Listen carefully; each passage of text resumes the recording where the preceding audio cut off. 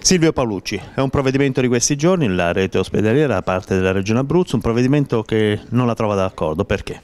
Si costituisce un tavolo tecnico per alcune modifiche sulla rete ospedaliera, ma si richiede da un lato l'affiancamento dei tecnici ministeriali. Io voglio ricordare che noi abbiamo concluso l'esperienza commissariale, ci siamo riappropriati delle nostre funzioni, competenze e anche della nostra autonomia.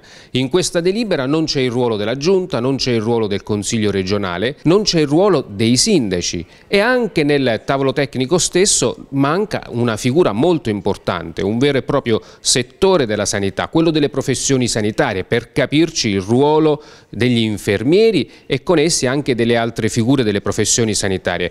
Sono molto in disaccordo perché sostanzialmente viene meno il potere del Consiglio regionale sulla programmazione, ma è soprattutto il tentativo di deresponsabilizzarsi rispetto a mio avviso a una campagna elettorale fatta di tanti selfie e promesse e poi all'atto pratico se non si dovessero eh, raggiungere gli obiettivi che pure sono stati promessi in ogni comune, in ogni territorio, ecco che è stata composta una delibera che scarica la responsabilità ai tecnici.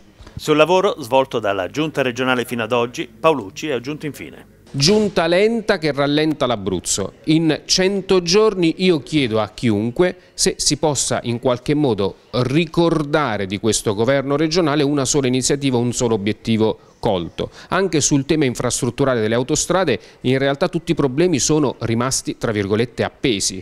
Si è fatto un gran cancan chiaramente e giustamente sul tema della chiusura del traforo ma anche sul tema per esempio del collegamento infra infrastruttura autostradale abbiamo tutti i nodi ancora da affrontare.